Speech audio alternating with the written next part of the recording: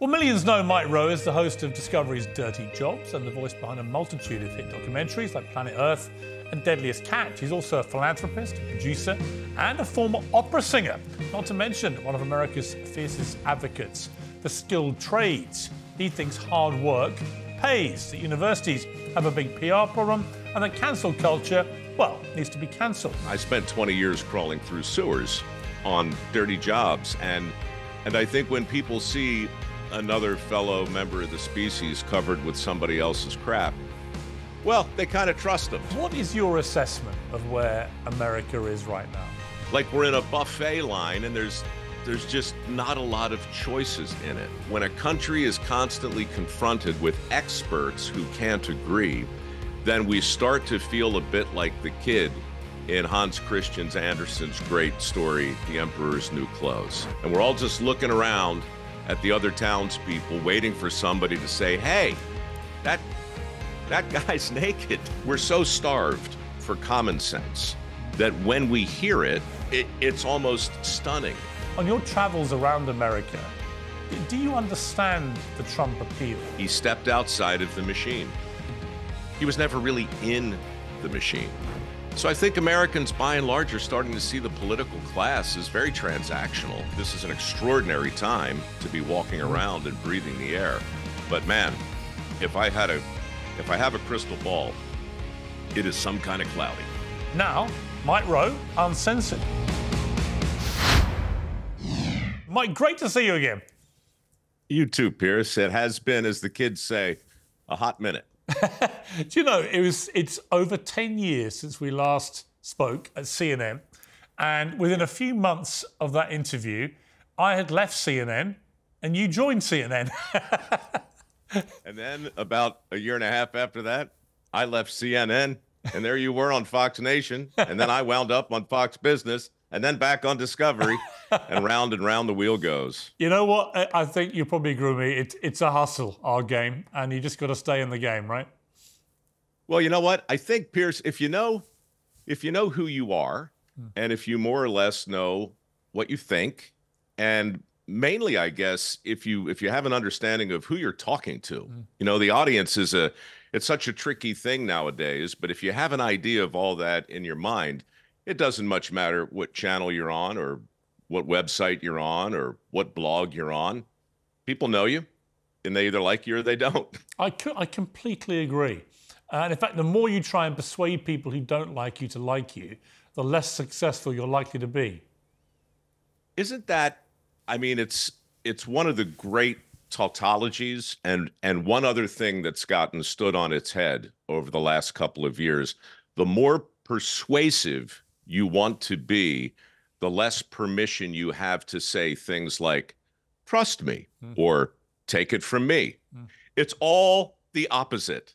You know, everything feels upside down, at least in the world of rhetoric and, and persuasion and just basic conversation. Well, I think you basically have a choice, don't you? You either go down the people pleasing route or you go down the authenticity route. And I always say to people that uh, in, in life, if you're authentic, then the people that you really want to like you will end up gravitating to you. They will. Uh, but if you if you're I a people pleaser, people pleasers tend to get people who end up that they don't want to have around them gravitate to them because they basically have tried to say all the right things to people that they have nothing in common with. I was thinking of this the other day. You know, who do I who do I like to listen to on podcast? Mm. Who do I like to watch perform musically? Right and who makes me laugh comedically. Hmm. It's almost always the people who respect me for being in the audience, but aren't really trying to entertain me hmm. so much as entertain themselves. And when I see that happening, I can go along for the ride hmm. as an audience member. If I don't, then yeah, I feel like they're trying to sell me something. As I listen to your melodious tones, I do think I was right 10 years ago when I suggested what you really should have done was become the world's number one movie announcer in Hollywood. I mean, you have that voice. I had a, I had a run. There was a guy called Don LaFontaine who was the original guy who get, he was actually a producer, and the voice talent didn't show up one day in the mid '80s. So Don was the guy who went into the booth and said, in a world, one man facing down the odds. And so for a couple of years, if you couldn't afford him, you got me. But it is uh it's nice work if you can get it. I've always thought, Mike, uh, that you very much represent uh, that that weird amorphous phrase "Middle America." Um, before Donald Trump came along and kind of reinvented the Middle America wheel, uh, and we'll come to him. Um, but I, I, do think that your your your litmus test instincts are really what Middle Americans think. I think you represent the values of Middle Americans. Um, do you? I mean, do you agree with that? It's it's a compliment for sure, uh, and and I appreciate it. I do think there was a time, and hopefully I'm still in it. But when Discovery had me on every single day, when I was doing four or five shows for that brand, that was a big middle of America brand. Mm. And at the same time, I was doing a lot of work with Ford and Caterpillar and with my own foundation. And it was a really fortuitous time for me because those big blue chip brands also represent, at least conceptually, mm. a part of this country that once felt like the middle. And for me, you know, I I value that a lot. I spent 20 years crawling through sewers on dirty jobs and and I think when people see another fellow member of the species covered with somebody else's crap, well, they kind of trust them, right? I mean, that that surely that guy is not good. Why would he lie to me? Mm. You know, how much worse could it get for him? And so I did get a lot of permission over the years to talk pretty candidly. Maybe not always to the middle, but from the middle. Right. And and that has been important to me for all the objectives that I have in this crazy business. What is your assessment of where America is right now?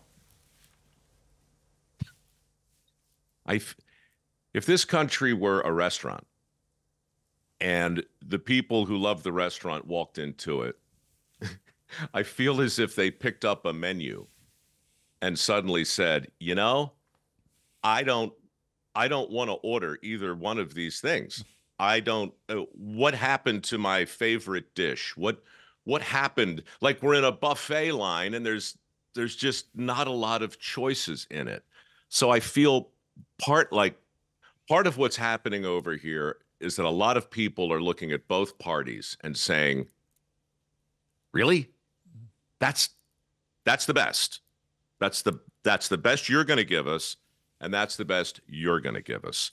So there's this very strange moment right now where people are looking over their shoulder as if they're being punked, right? And mm-hmm. saying, "Are we seriously? This is it." So on, on the political side, that's sort of how I feel. People are beginning to seriously wonder why there are only two items on the menu. On the education side, it's not so dissimilar. A lot of people feel as if one way is being pushed down our collective throats. And I think that in really general terms, Piers, I would just say we're living in a time when two things everything is being painted with a broad brush. We're awash in cookie cutter advice, bromides, platitudes, and a lot of certain sounding people talking to us mm. as if they have the answer. And we're living in a time where it doesn't matter. You can hop online, you can turn on the TV, you can turn on the radio, and and and and five will get you 10 that you're listening to two experts who can't agree so when a country is constantly confronted with experts who can't agree, then we start to feel a bit like the kid in Hans Christian Andersen's great story, The Emperor's New Clothes. Mm-hmm. And we're all just looking around at the other townspeople, waiting for somebody to say, hey, that that guy's naked. Or hey, no, that that that doesn't look like a secure border. Or or hey, no, a whole a whole class of kids graduating from high school in Baltimore who have zero proficiency in math. That's not good. Or hey, that that that woman sure looks like a man, right? It looks like mm. on every front, people have been asked to believe a bromide. And I think the chickens are going to come home to roost somehow or another. I, I completely agree with you. I think when you look out and there's a blue sky and you have experts telling you, no, no, no, it's black, right? Or it's yellow. It's like, no, I can see it. It's blue with my own eyes. I think that when you reach that place in society, it's a very slippery slope to the whole thing just unraveling. And if you start to deny obvious facts, obvious science, whatever it may be, I don't know where society goes. I think I think sometimes things have to go splat before they get better. Mm. And that that's probably kind of a grim assessment and and I don't know what splat really means. I don't know what it means in the East. I don't what it I don't know what it means for our skills gap problem over here. I don't know what it means really for our faith in public institutions. But since that's what we're talking about, you know, th- I think it's really important to think it through. And and the more I think about the emperor's new clothes, yeah. that it just makes so much sense. We're so starved for common sense mm. that when we hear it, we it, it's almost stunning to us because common sense itself has been under such an assault for the last three or four years mm. that we've become kind of immune to it. And so I just I just think we're in some very strange uh, back and forth, and it's going to become accelerated, obviously, over the next eight or nine months. I think we're probably look. Having said all that, I'm delighted to be alive. This is an extraordinary time to be walking mm-hmm. around and breathing the air. But man, if I had a if I have a crystal ball, it is some kind of cloudy. I mean, the, the interesting thing about what you just said about glad to be alive, statistically, this is the best time to have ever been alive in recorded history. People are living longer, they're healthier than their previous ancestors. There are actually fewer wars than there have ever been on planet Earth, although the perception fueled by social media is it's just constant warfare. Um, you know, there's, there's less child poverty, water is cleaner you know, you go through all sorts of metrics for the, the life we're existing in, and we've never had it so good. And yet, young people in particular, and by young I mean, you know, from sort of early teens to mid 20s, are in the grip of a collective anxiety epidemic, which is almost inexplicable, uh, except that I think they're being constantly exposed to so much negative dopamine rush stuff through their phones, whatever it may be, that their perception of what the world is is completely out of kilter with the reality. And really, their understanding of history. And I don't mean to talk about them like they're not in the room. I'm, I'm sure there are many intelligent Gen Zers watching and, and listening right now. But what can they possibly understand? There was no rotary phone when they grew up. Mm. They, they didn't live through 9 11. They didn't experience enough history or probably they they haven't traveled enough. They haven't seen enough of the world to be able to understand what they have in some sort of meaningful context. And so everything you just said, I believe to be true. But I also believe you probably just triggered a few million people around yeah. the world. Yeah. Because when when you optimism itself has become the proximate cause of people's outrage. Mm. How dare you be optimistic? Mm. How dare you tell me that things aren't as bad as I know they are? Don't how you know you how much I'm suffering? You know, the, we, we are living right. in a victimhood society where actually being a victim, even if you're not a victim, but being a victim is celebrated. People put you on a pedestal if you can play that victim card. And I see it with people who should know better, you know, who are incredibly privileged but, uh, but allow themselves to wallow in self pity and victimhood. And then it feeds down into the, the Gen Z uh, brigade. And I feel, in a way, I feel sorry for them because uh, so many of them are, are incapable of dealing with normal life. Um, and they resort to, you know, sort of thinking, well, obviously the world's never been worse, so that's why I'm feeling so insecure. That's why I'm feeling so anxious. And I, I try and explain to them, no, no, no, you got this completely wrong you're very, very lucky to be alive right now. You know, there's a, a statistic in Britain Gen Z employees miss a day's work a week due to mental health concerns, new research showed, costing the economy in the UK 138 billion pounds a year. I mean, this is completely, well, ironically, it's completely insane. And the truth is, most of them do not have any mental illness. And I don't say this to belittle those who do. I think mental illness is a real thing and it, and it needs to be dealt with properly by professionals. But most people in, in these numbers are not actually mentally ill. They've just basically found themselves incapable of dealing with life. And you, you know, you're someone that has literally wallowed through sewers to show the reality of what a tough job can be. What do you say to these people? What do you say to the Gen Zers who are almost giving up on being able to deal with life? I say that you can't hope to define terms or or treat conditions like mental illness until you define the term. To your point, uh, the language itself is under assault, and so if it's very similar, if you if you don't have a, a cursory understanding of history, uh, it's it's like not having a real understanding of language. Mm. The terms are being redefined in real time. So everything you just described, for instance, my my foundation awards work ethic scholarships because we want to elevate work ethic.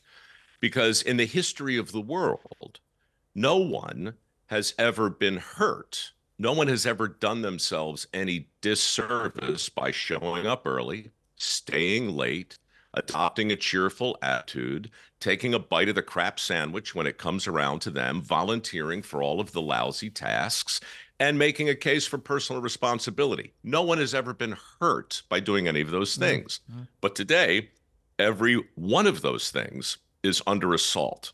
Every one of those terms is problematic. We have big companies over here, giant companies like Korn Ferry and Lockheed Martin, and surprisingly huge companies who have come out with a whole new list of terms that are simply being redefined right in front of us. Mm it, including all of the ones I just mentioned. So it's difficult to know what to say to a generation who feels that way when we're not using the same language. Final thought with regard to another term that I think is linked to virtually everything we're discussing, and that's gratitude. That's another thing you're really not allowed to talk about anymore. Um, the people who apply for my scholarships have to sign a sweat pledge. And the very first pledge in this 12 step thing says, I am grateful. Above all things, I realize that I have hit the lottery. I am alive. That in itself is a miracle. Mm. I'm walking around free. Above all things, I'm grateful. If you don't believe that, I can't help you if you don't fundamentally feel that in your soul, then to your point, the road to victimhood, the door to victimhood mm. has just been kicked open, right? It's just been kicked open. Mm. And it's so easy to get pulled in that direction if you can't find it in yourself to be fundamentally grateful for being able to breathe, for being able to chew and swallow, for being able to be free and laugh and surf the internet and do all of these different things. I know I sound like, you know, a grumpy old man screaming at the kids to get off the lawn. I don't mean to. What I mean to say is if we don't come to a collective understanding of what our language means, we're never going to be able to talk to each other. Yeah, I completely agree. I, I also would add a word to the mix entitlement. The sense of entitlement that so many young people seem to have and it may be this, again, is not their fault. It's driven perhaps by Instagram, you know, where everything is perfect, where they have this fear of missing out. They see everyone leading seemingly perfect lives of fast cars and fabulous holidays and amazing clothes and 100 grand watches and so on. And they think that this is something they should all be getting. And so they have a sense of entitlement, which, of course, for the vast majority of people, is simply not met by reality. I mean, I always say that I come from a little village in, in the south of England and 1,500 people. Some of the happiest people I've met in my life to this day are people I met in the village pub who have a, a very like, limited expectation of what life owes them. right? They put a hard graft in. They might be carpenters, they might be builders, they might be decorators, they might be accountants, lawyers, whatever it may be. They haven't gravitated perhaps very far from the village. Um, they have less expectation and less a sense of entitlement about what life owes them, and more what can I get out of my life that's actually going to make me happy. And they are very happy people. Now, I also know people who are the complete opposite. Uh, and it's got very little to do actually with money, I find. It's got more to do with just a mental attitude. Maybe it's from parents, maybe it's from friendship groups, whatever it may be. But this, this sense of entitlement that the world owes me a living, owes me a favor, owes me all these great things.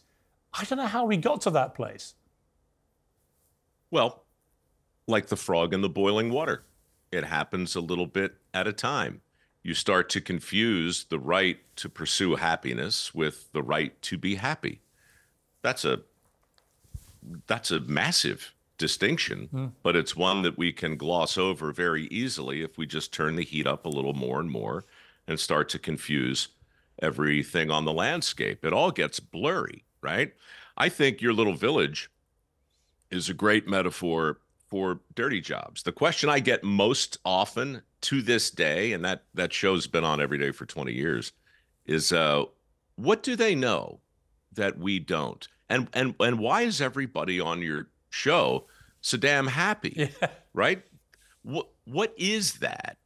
And and part of it is the phenomenon you're describing from the village pub. It's an awareness that that some that you're a part of something you're you're a part of doing something that needs to be done mm. right meaningful work dirty jobbers by and large always know how they're doing they can look around and see their progress not just week over week or month over month but hour over hour that matters and that's something that gets really lost in this world of tech and AI and all of these other things, the sense that there's there's something happening up in the cloud. Mm. There's something happening in the blockchain. There's something happening in all these places that we can't actually go and bear witness. Well, guess what? There's something happening in the sewer too. It's not necessarily pretty, but it is primal to your existence. So, if you combine those two things, the business of doing meaningful work, which would happen on what I'll call the front end of the work continuum. And then the capacity to feel gratitude that that work is being done, that falls on the rest of us, mm-hmm. right? If we don't walk into a room and flip the switch and feel grateful when the light comes on, we've become disconnected from something really important. Yeah. If we don't flush the toilet and stand there and wonder as the crap goes away, then we've lost our appreciation for for a great many things. And if you if you think about going back to your first question, Piers, what's going on in this country? That's another thing that's happened. We have become disconnected, profoundly disconnected from a great many of the things we rely upon. And I just think this is this is the fault in our stars. And it's not unique to this country, but people in in my experience anyway, we we not only one once we lose our gratitude for a thing, it doesn't just stop there. We eventually start to resent the fact that we can't do the very thing we depend on, mm. which is why we shake our fist at construction workers who are trying to fix our roads, which is why we shake our heads at the men on the power lines trying to get the power back on because we're impatient and we can't believe we lost the power in the first place. So what's the holdup? We're pissed off that it takes two or three days to get a plumber. We're upset that electricians aren't a dime a dozen. We're, we're starting to resent the very things that we weren't grateful for. And now the divide grows wider in so many different ways. Sorry, that's a lot of armchair philosophy. No, no, it's, it's actually. That's what it, I see. It's so true. Uh, I was trying to think as you were talking, what's the dirtiest job I've ever done? And I actually know what it was. I was about 18 and there was a field opposite the, the house I was living in in the village.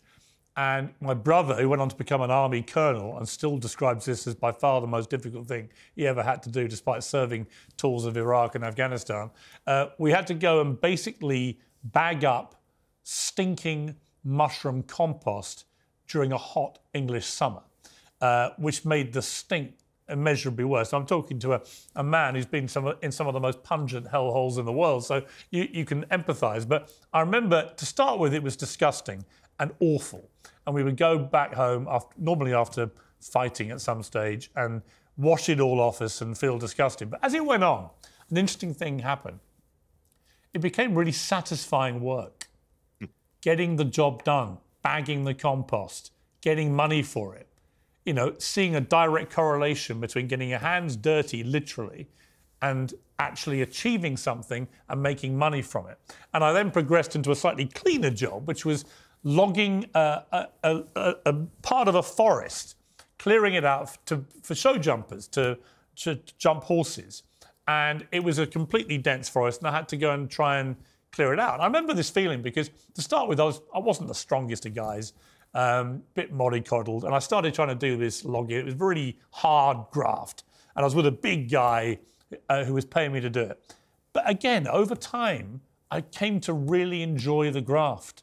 And by the end, I was chucking these logs around like Rambo and really enjoying the clearing that we were creating and loving the finished product. And that comes back to your, your point that we've forgotten about that journey of satisfaction, achievement, reward, and actually a happy state of mind.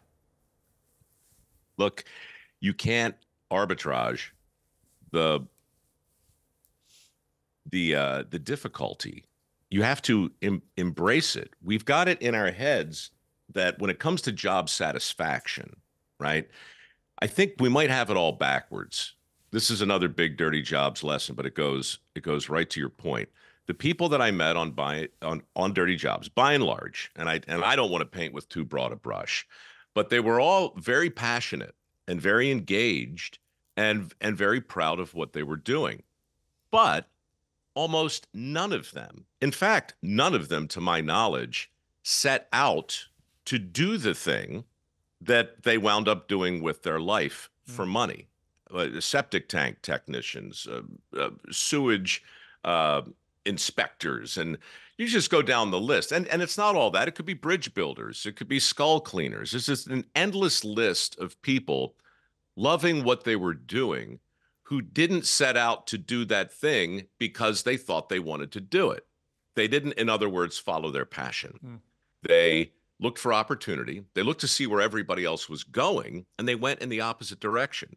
And then they figured out how to get good at a thing. Maybe it was composting mushrooms. Maybe it was clearing the South 40 so the horses could jump. Whatever it was, they figured out a way to get good at it. Mm.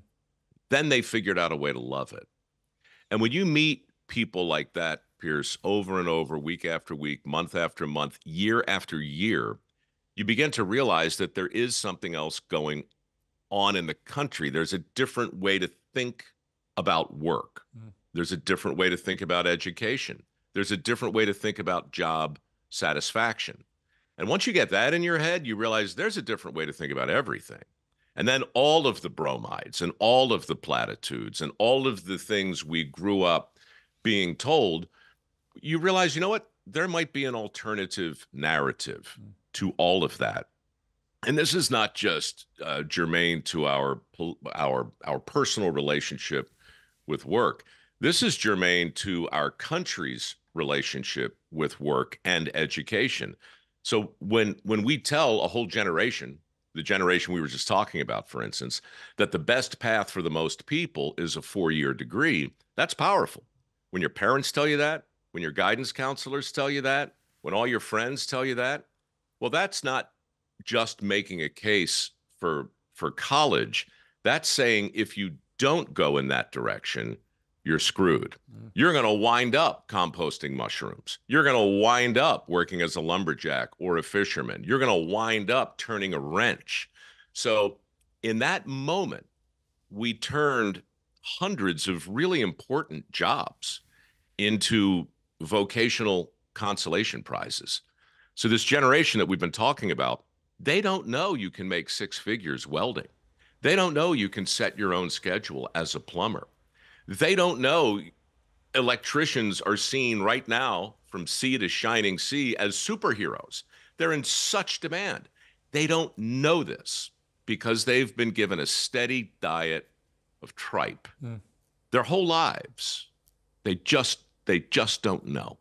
We're also in a weird era of cancel culture, for want of a better phrase. It's a ridiculous phrase, really, but we know what it means. It's it's where predominantly people on the left now, on the woke left, have decided that they're going to start behaving like the very fascists they profess to hate most. And if you don't agree with their worldview, they're not just going to cancel you from the job you're in, and with a deliberate attempt to do it. You know, they'll contact your bosses, they'll bombard your the board of your company with emails and so on and so on.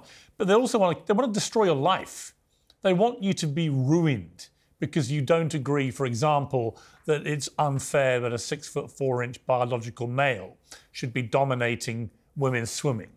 Right? They think that that that that belief that you have is so outrageous, even though it's obviously factually you. correct uh, so outrageous that you must be destroyed. And you see people like J.K. Rowling get absolutely eviscerated for standing up for mm. women's rights to basic fairness and equality. Um, but th- this whole cancel culture is a really insidious thing, isn't it? Well, look, I, it's it's tricky from my perspective. I agree with you, by the way, but that's not to say that that free speech is is free of consequence. You know, there's we've always had to endure to a certain degree um, the consequences of mouthing off. Now, in this country, those consequences shouldn't include uh, being thrown in jail. Hmm. Uh, they might include losing your job, depending on how badly you mouthed off, right? The trick is there's there's no there's no protocol, there's no playbook. The rules, like the language, have changed before our wondering eyes. Mm-hmm. And so this whole topic, understanding it is like nailing jello to a tree.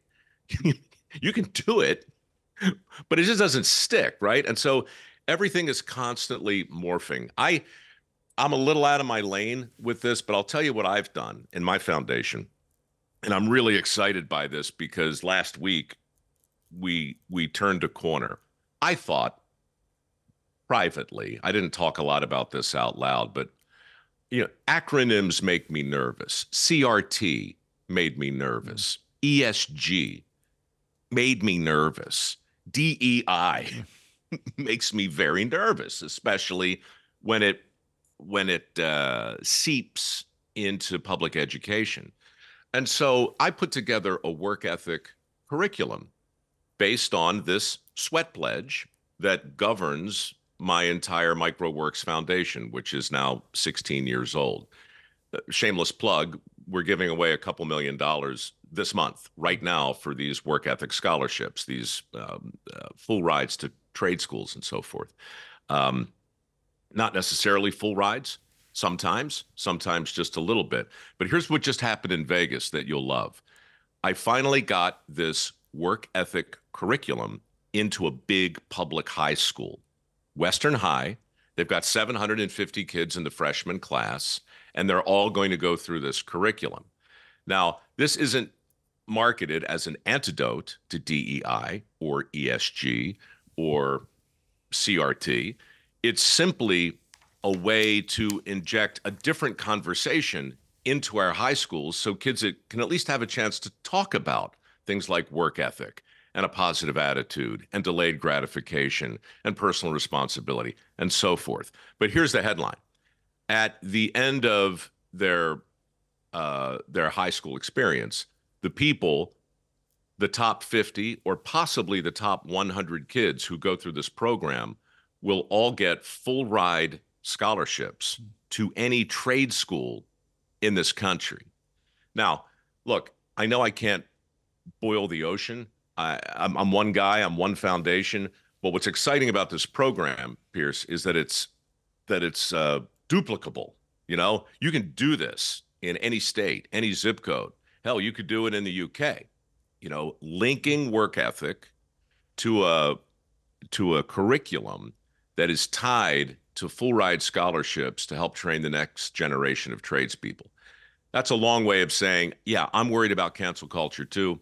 I'm worried about this army of angry acronyms, and I am very worried about a kind of indoctrination that can, it seems to be happening on all levels of education.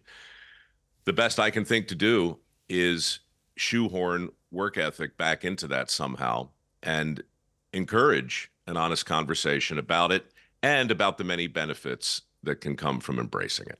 One person who has an undeniable work ethic uh, for a guy in his late 70s is Donald Trump. He seems to be heading to win the Republican nomination. And I got to say, in a matchup with Biden, looking at all the polls, he's got a very good chance of, of winning back the White House. On your travels around America, do you understand the Trump appeal to so many Americans? Because outside America, people find it pretty baffling. I've traveled around a lot of middle America and I, I do get it. I do feel the reasons why, in many cases, they might want to hold their nose about what he says and the stuff that comes out of his mouth, but actually think, you know what, he's, he's, a, he's a, a disruptor, but he's, he's got our backs. Mm. Uh, yeah, I think I think all that's true to an extent. For me, it was as simple as saying he stepped outside of the machine. He was never really in the machine. Uh, and and when he came down that escalator, yeah, that was a thing. But it really wasn't for me until I, I forget what debate it was, but I think he was accused of paying as little amount of taxes as he could or mm. something like that and he he just shrugged and laughed and said, "Well, of course, we all do of that." Of course. Well, yeah, I I know how the game is played, mm. right? And and so does she, he said, pointing to Hillary, and so do they all. Mm. You know, the only difference between me and them is I'm going to tell you the truth. I'm going to tell you how the game is played. I'm going to tell you how I made a bunch of money. I'm going to tell you what they won't. And I think it was a combination of of that combined with at the time anyway. I mean, I have no idea what the man's finances are, but these last couple of uh, judgments don't look good. but he didn't need it. You know, he didn't need it. And look, th- I'm not sure this is really a Trump thing. It might it might be a Bobby Kennedy thing. It might it really anybody who steps into the fray right now and says, "Look,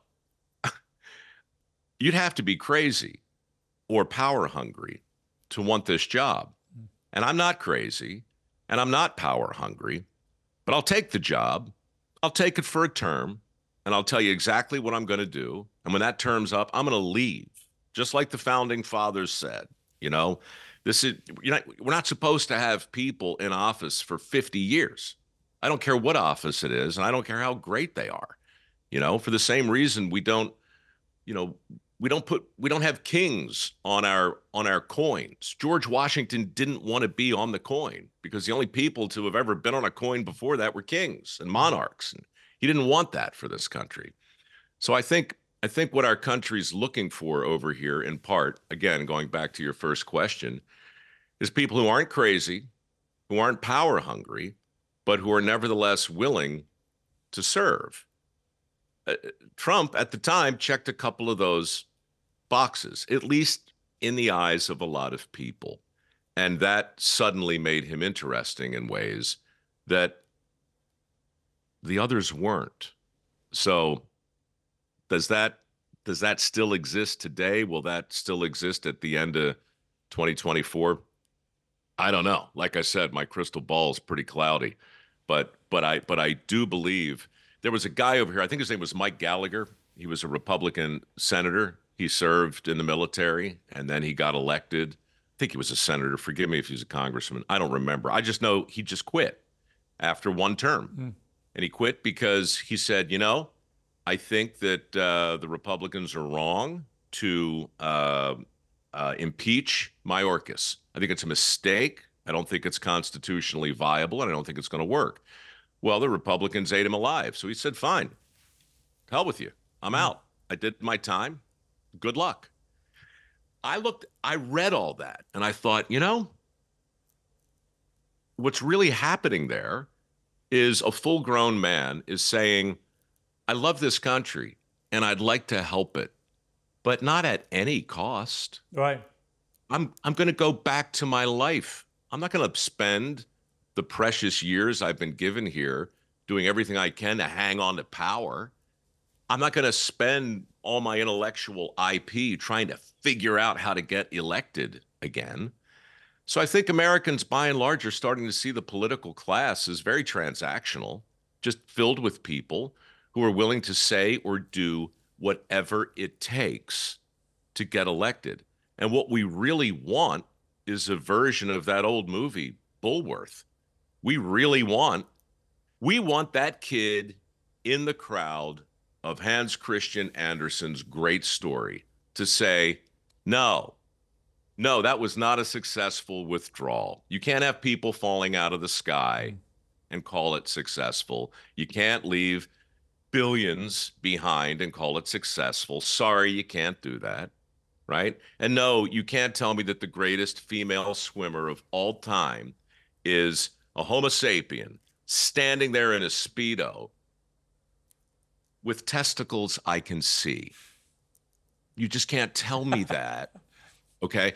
We're desperate for somebody to stand up with kindness and persuasion and humor to say, look, we have been in the grip of some collective fever dream, and we have let go of the basic definitions of our most fundamental terms, and we have been punking each other, punking each other, trolling, double dog daring.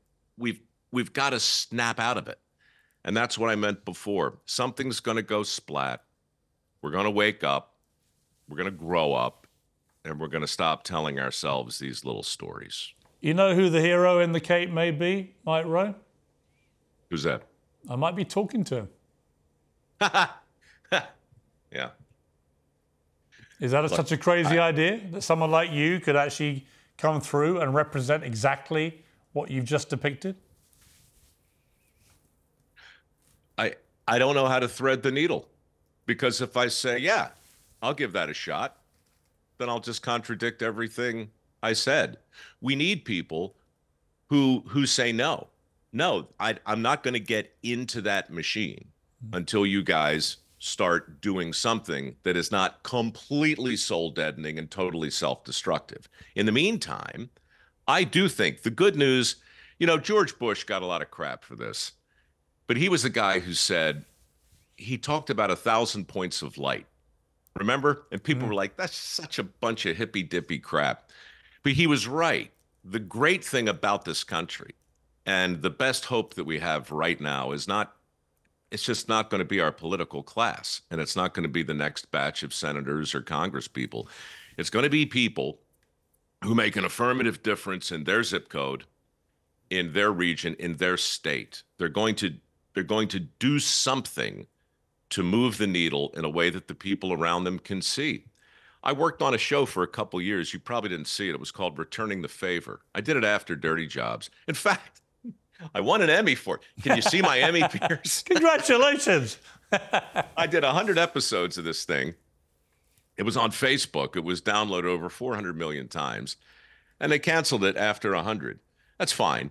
But but the show itself was a love letter to to good-natured service, do-goodery, right? We just look for bloody do-gooders who are making a difference in their towns, in their little village, yeah. right? Yeah. And we go into that place and we'd meet them and then we'd give them some sort of uh, reward, some sort of tool that would allow them to do more of what they were doing. That's what makes our country great. Yeah. Those people are everywhere. They're everywhere. I completely, and... completely agree. Uh, Mike, it's been great to catch up with you. Uh, let's not leave us alone next time. Look, I got this podcast like everybody else on the planet. You're welcome on anytime. And I, I love uncensored. Thank you. I hope I was. You were very much uncensored and a great guest, and I really appreciate it. Thanks very much, Mike Rowe. Anytime.